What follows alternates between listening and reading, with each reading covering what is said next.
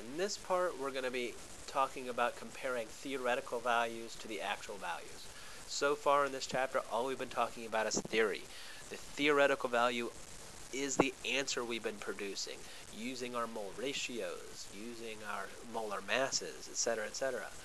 So every answer we've gotten so far is just based on theory. Actual values come from labs.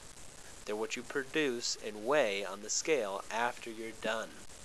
So imagine you've just uh, done a lab and you're supposed to get 25 grams of, of a substance, but you only get 22 grams.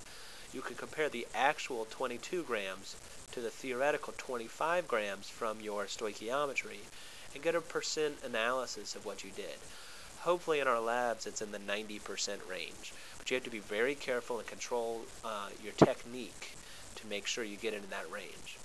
Our example problem has methanol being produced from carbon monoxide and hydrogen using this balanced equation. One mole reacting with two moles to produce one mole of methanol. The first job is to figure out what the theoretical answer is. And you notice here that the same steps so far. Grams, grams, moles. Moles of one thing, moles of the other thing. Moles back into mass. Get an answer.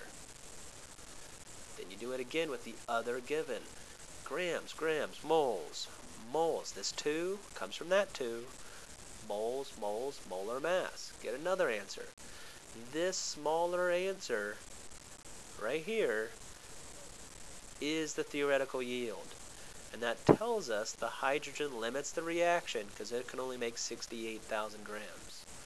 So we're going to take this smaller answer and use it to calculate how good a job this reaction is doing in terms of its what it should do versus what it is doing.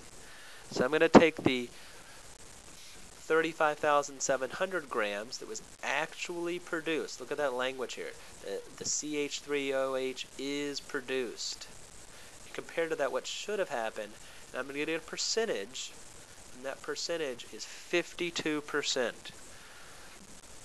So they only produced 52% of what they really should have produced, which is really not very good. Um, in today's lab and in tomorrow's lab, hopefully you're going to do a much better job, going to hit the 90% range. Good luck.